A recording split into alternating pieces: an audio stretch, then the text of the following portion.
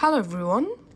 In this video, I'm going to show you how to turn off camera shutter sound in Samsung Galaxy A16. Let's capture a photo and here we can hear the shutter sound. Now I'll show you two different ways to disable this camera shutter sound. The first option is we have to turn on silent mode. So open your control center and just enable silent mode. Once your uh, phone is in silent mode, now go to camera.